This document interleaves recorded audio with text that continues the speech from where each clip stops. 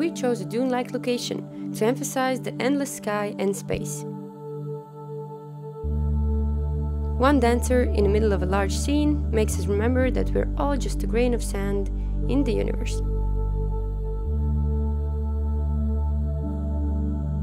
Unlit scene looks great, but it doesn't have that spice in it. You need more contrast, some backlight, something to pop.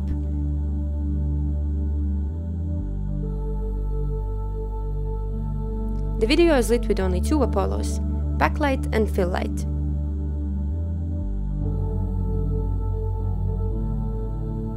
We started shooting with low ISO, but ended up boosting it 26 times to keep the same brightness of the image. All cameras are very advanced, but you know what cameras do. They just capture light.